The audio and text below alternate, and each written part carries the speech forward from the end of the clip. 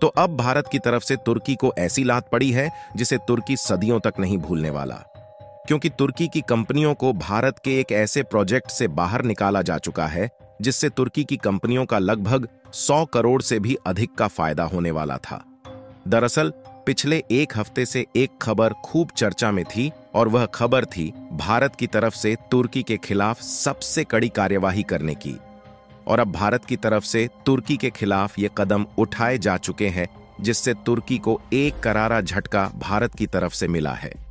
असल में भारत में पाँच की संख्या में मोस्ट पावरफुल और हाई कैपेबिलिटी वाले वॉरशिप्स यानी कि युद्धपोत इंडियन नेवी के लिए बनाने का प्रोजेक्ट शुरू किया जा रहा है।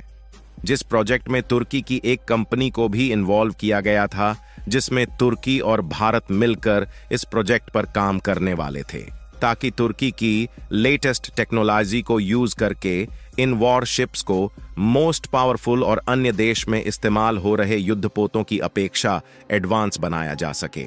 क्योंकि देखा जाए तो तुर्की डिफेंस हथियारों की टेक्नोलॉजी के मामले में कई देशों से आगे है।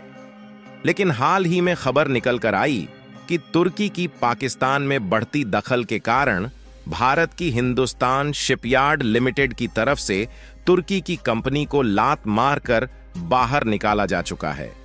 पूरी अपडेट क्या है, इस वीडियो में समझते हैं।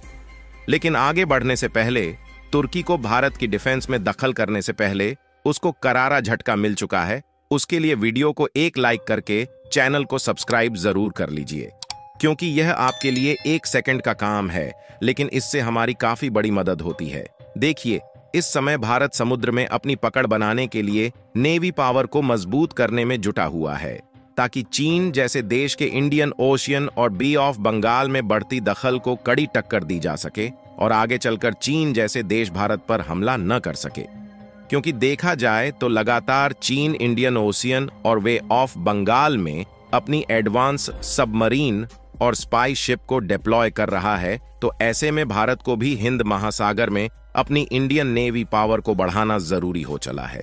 और इसीलिए पिछले साल, यानी कि 2023 में, इंडियन डिफेंस मिनिस्ट्री की तरफ़ से, हिंदुस्तान शिपयार्ड लिमिटेड को पाँच की संख्या में एडवांस और लेटेस्ट वॉरशिप्स, यानी कि युद्धपोत बनाने का कॉन्ट्रैक्ट सौंपा गया था, जिसमें हिंदुस्तान शिपयार्ड लिमिटेड ने तुर्की की एक फर्म के साथ एग्रीमेंट किया था, जिसमें तुर्की के इंजीनियरों को भारत में आकर इन जहाजों की डेवलपमेंट में हिस्सा लेना था, ताकि भारत की इन जहाजों को एडवांस और लेटेस्ट टेक्नोलॉजी पर डेवलप किया जा सके। क्योंकि देखा जाए तो तुर्की टेक्नोलॉजी के मामले में काफ़ी आगे है और तुर्की जैसे देश समय समय पर आधुनिक टेक्नोलॉजी से लेस डिफेंस हथियारों को डेवलप करते रहते हैं। इसीलिए हिंदुस्तान शिपयार्ड लिमिटेड ने तुर्की जैसे देशों की फर्म के साथ मिलकर इन जहाजों को निर्माण करने का निर्णय लिया।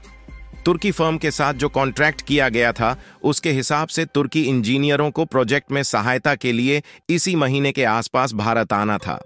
डिज़ाइन के अलावा, तुर्की के इंजीनियरों को इंजीनियरिंग सेवाएँ, योजना और जहाज़ के डेवलपमेंट की स्पेशलिटी तैयारी प्रदान करनी थी।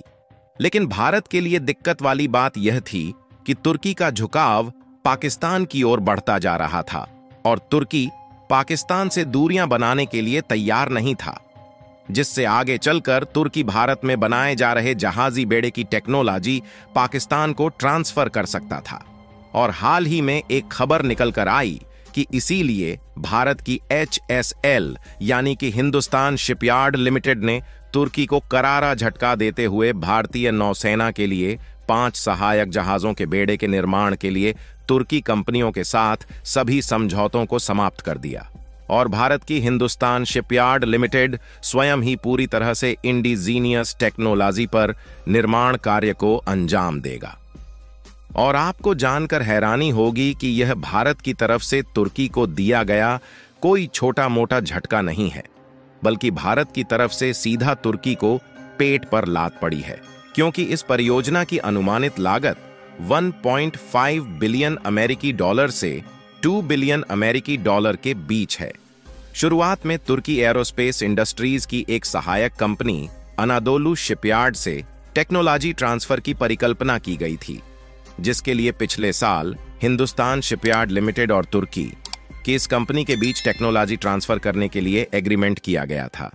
लेकिन अब तुर्की को इस परियोजना से बाहर निकालने के बाद भारत की हिंदुस्तान शिपयार्ड लिमिटेड खुद इसकी डेवलपमेंट पर काम करने जा रही है। हालाँकि इसमें कुछ क्रिटिकल टेक्नोलॉजी की ज़रूरत पड़ेगी तो उसके लिए फ्रांस और गिरीश जैसे देशों से भारत की यह कंपनी मदद लेने वाली है। वहीं भारत ग्रीस के साथ अपने संबंधों को मज़बूत करने में जुटा हुआ है, ताकि ज़रूरत पड़ने पर ग्रीस की मदद ली जा सके। और अगर आप ध्यान दें तो पिछले साल 2023 में प्रधानमंत्री नरेंद्र मोदी की ग्रीस यात्रा ने दोनों देशों के बीच सहयोग का रास्ता खोला है। वैसे आपको बता दें कि जिन जहाज़ का निर्माण एफएसबी यानी कि फास्ट सपोर्ट वेसल्स प्रोजेक्ट के तहत किया जाना है, ये जहाज़ युद्ध पोत की तरह खुद लड़ने के लिए नहीं इस्तेमाल किए जाते हैं, बल्कि एयरक्राफ्ट कैरियर और युद्ध पोतों के लिए फ्यूल खाने पीने की वस्तुएँ और टेक्निकल सपोर्ट मुहैया कराने के लिए इस्तेमाल किए जाते हैं। और जो फास्ट सपोर्ट वेसल्स डेवलप किए जा रहे हैं, इनका साइज़ लगभग 230 मीटर लंबा है और इनका वज़न लगभग पैंतालीस हज़ार टन के आसपास है। यानी कि इनका आकार लगभग एक एयरक्राफ्ट कैरियर के आसपास ही है। लेकिन इन जहाजों का काम है एयरक्राफ्ट कैरियर के लिए सपोर्ट मुहैया कराना। क्योंकि देखा जाए तो दुनिया के सभी देशों को लेकर कुल इकतालीस एयरक्राफ्ट कैरियर है।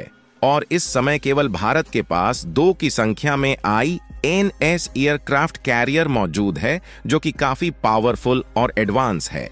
और भारत के पास जो पावरफुल और advance I N S aircraft carrier है, लगभग एक छोटे शहर के आकार के होते हैं, जिनमें खाने, पीने, नहाने और सोने के साथ साथ खेलने और कूदने की सुविधा भी होती है।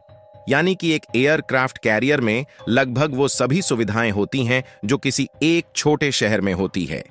और एक एयरक्राफ्ट कैरियर में लगभग 50 से भी अधिक लड़ाकू विमान यानी कि फाइटर जेट होते हैं और यह एयरक्राफ्ट कई प्रकार के एयर डिफेंस सिस्टम और पावरफुल हथियारों से लैस होता है। इस समय आप अपने मोबाइल फ़ोन की स्क्रीन पर जो विशाल जहाज़ देख रहे हैं, यही है भारत का आईएनएस एयरक्राफ्ट कैरियर। तो ऐसे में एयरक्राफ्ट कैरियर के लिए हथियारों से लेकर खाने पीने की वस्तुएँ और एयरक्राफ्ट कैरियर में इस्तेमाल होने वाले फ्यूल की सप्लाई करने के लिए इन्हीं फास्ट सपोर्ट वेसल्स, यानी कि जहाज़ बेड़ों की ज़रूरत पड़ती है। क्योंकि मान लीजिए, अगर युद्ध शुरू हो गया तो ऐसे में एयरक्राफ्ट कैरियर कई महीना या कई सालों तक समुद्र में ही रहते हैं और एक एयरक्राफ्ट कैरियर में लगभग सौ से अधिक तो पायलट ही होते हैं। तो ऐसे में इनको सभी सुविधाएँ और हथियारों की सप्लाई के साथ साथ फ्यूल की सप्लाई करने के लिए जो भारत में पाँच की संख्या में जहाजी बेड़े बनाए जा रहे हैं, इन्हीं का इस्तेमाल किया जाएगा।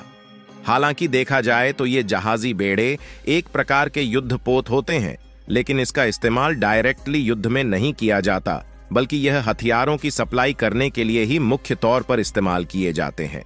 फिर भी किसी भी युद्ध में इनका बहुत बड़ा योगदान होता है। इनके बिना किसी भी युद्ध में हथियारों की सप्लाई कर पाना असंभव है।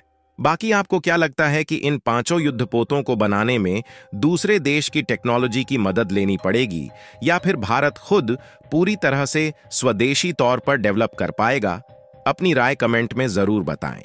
और इस वीडियो को एक लाइक करके अपने मित्रों तक शेयर करें, ताकि उन्हें भी जानकारी मिल सके। इसी तरह और भी नॉलेजबल वीडियो देखने के लिए चैनल को सब्सक्राइब करके बेल आइकन को ऑल पर ज़रूर सेलेक्ट करें। जय श्री राम।